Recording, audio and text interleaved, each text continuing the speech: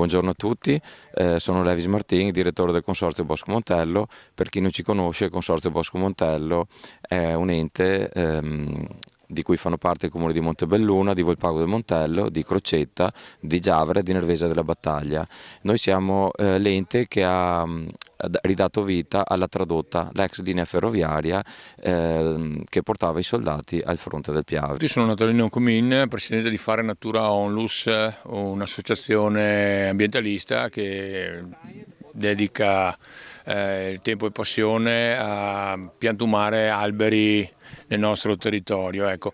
Eh, ci stiamo, grazie al Consorzio del Bosco Montello che ci dà la possibilità di piantumare alberi in sicurezza, anche per la sicurezza che restino ad oltranza, non vengano tagliati qui sulla tradotta che è un monumento storico eh, per, non dimenticare, per non dimenticare quello che è stato perché quando un popolo dimentica da dove arriva non ha un futuro. Ecco. Mirko Paiusin, Caimano del Piave, una passione che nasce come?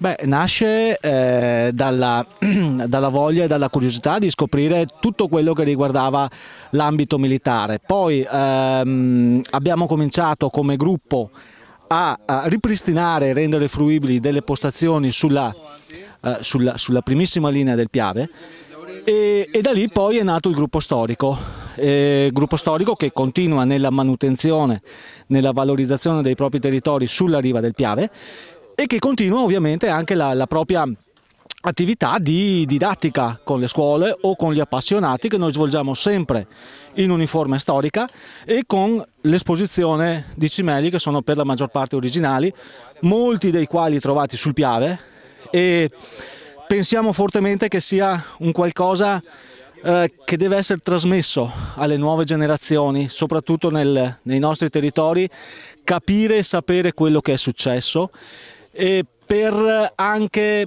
eh, come dire, dare importanza ai luoghi che si calpestano. Abbiamo tantissimi luoghi, dal Montello al Piave stesso, abbiamo i sacrari, abbiamo un sacco di cose che ci riportano a quel tristissimo evento che si chiama Grande Guerra e che qui ci ha colpito fortemente. Mirko, cosa ti fa provare indossare un, un, un uniforme così e calpestare certi luoghi? Beh, eh, l'indossare l'uniforme è sempre un qualcosa di particolare perché la prima cosa che ti viene in mente è ovviamente sono le persone, i giovani che l'hanno indossata in ben altri contesti.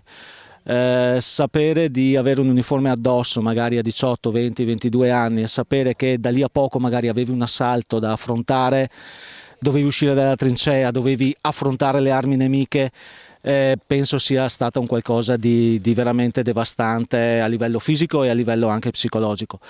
Eh, per noi è semplicemente un onore e cerchiamo di indossarla sempre con il massimo, con il massimo rispetto come si deve ai militari che hanno prestato servizio. Grazie a tutto quello che fate.